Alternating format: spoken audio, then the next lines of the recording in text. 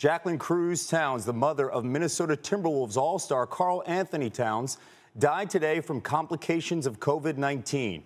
She was 58 years old.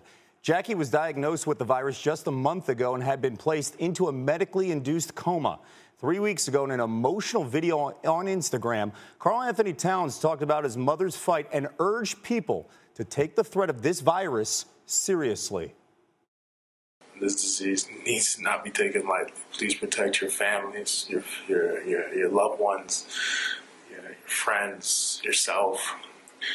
Practice social distancing. Please don't be in places with a lot of people. Just hides your chances of getting this disease, and this disease is not. It's deadly. It's deadly, and um, we're gonna keep fighting on my side. My, me and my family, we're gonna keep fighting this. We're gonna beat it. We're gonna win.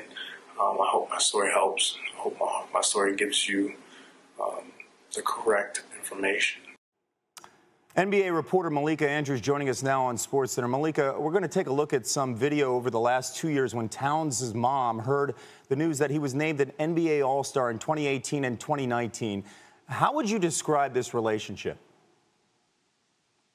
Yeah, Kevin, Karl and his mother, Jackie, really could not have been closer. That's the best way I can describe it. I was just talking to one of the Timberwolves' former assistant coaches just a few minutes ago, and he told me that during Karl's first season in Minnesota, his mother did not miss a single game. That included going on every single road trip with the team to make sure she was there, make sure she was supporting her son, make sure she was cheering him on. This is an incredibly close family, and this was a devastating blow. Later in that video, Karl-Anthony Towns described his mother as the matriarch, the queen of the family. So this is incredibly tough for him. And you've seen not only the, the Timberwolves outpouring of support saying just how much they know that his mother meant to Karl, but also players around the league, Chris Paul, other folks weighing in on Twitter. This is a, a devastating loss for the Car- for Karl's family and for the NBA family at large. Nothing stronger than a mother's bond with their child, and that video says it all. What more can you tell us about the length of his mom's illness and the health of his father right now?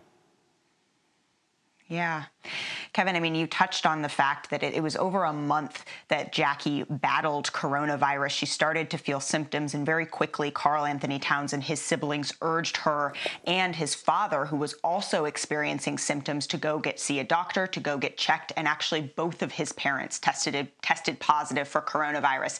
His dad was also hospitalized, but eventually his dad started to get better. But his mother, his, her, her fever would come down a little bit during the day and then spike up again to 103 sometimes overnight. And so it just never was getting better. She was placed on a ventilator and continued to struggle. But on the other side of it, Karl's father started to slowly get better, and I was told was eventually able to go home.